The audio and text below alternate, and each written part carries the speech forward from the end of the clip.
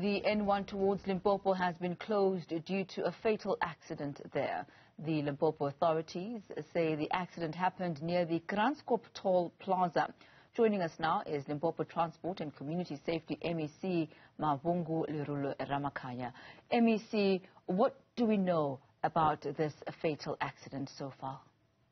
Uh, thank you very much. We are at the scene um, at uh, the Modimolle N1 uh, bypass. Uh, it's true that we have closed both roads just to be able to allow our teams uh, to be able to deal with the scene. Up to so far, we have lost uh, five people, and we still have two that has gone to the hospital.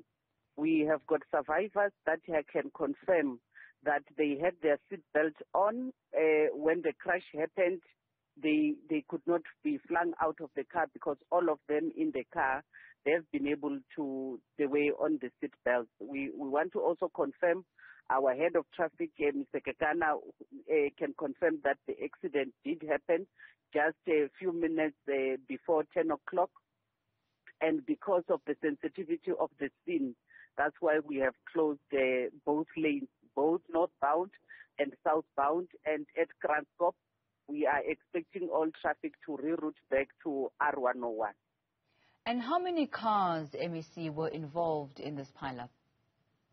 Um, the three cars were involved. Uh, it is alleged, uh, because uh, investigation is still underway, it is alleged that uh, one of the cars that were on the southbound had a tire burst and it affected it had to go on the southbound side where uh, it had to hit one car where we have lost the driver who was traveling alone and the second car at the back which had um, uh, people they are the ones that are survivors that i'm saying they were there and uh, they had buckled up and all of them have been able to to survive so you have mentioned, MEC, that this happened at the Kranskop Toll Plaza, that both the north and southbound, uh, you know, lanes and directions have been closed.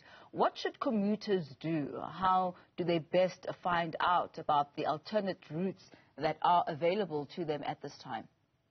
Uh, we are appealing to all commuters that have not left their destination, especially from the Gauteng province, to then go straight to the R101 we are also appealing and uh, informing the uh, southbound, the traffic that is leaving Polokwane towards Kranskop to also say let them use the R101. Um, when the traffic continues to come through Kranskop, it has uh, already created a stampede that we can confirm. I've just driven through that stampede. It's uh, going to be like plus or minus three kilometers already. Cars are waiting, but um, now we have got our law enforcers trying to assist uh, all the cars on the R101 and make sure visibility is there so that then we do not have other crashes on the other side. And how long is this road closure expected to be for? Um, we we are expecting it to to be there for another hour, uh, but I'm happy because the whole team of police, the forensic, and everybody, I can confirm they are here on scene. Those that are getting ready to tow the cars are already here on the scene. So within uh, the next hour, if ever there is uh, more time that we are going to need, we'll be able to inform you so that then you can always pass the message to our road users. MEC, thank you so much for your time. But before I let you go, your message to uh, commuters during this festive season. Please, please buckle up and always keep uh, you know, uh, three spaces, uh, you need to see spaces between you and the car that is in front. And also, let's make sure that we do not overload our cars so that then they do not have pressure. When you feel that you have been on the road for too long, please stop. It's not only you that needs to rest, but also the car needs to rest. We can see because of uh, the tire burst. And my last message is uh, we are still emphasizing to all the drivers, let's remain calm, let's follow the normal speed of 120, and let's live beyond December. Let's all arrive alive. That's uh, the Limpopo Transport and Community Safety MEC Mavungu Lirole Ramakanya. Thank you so much for that update.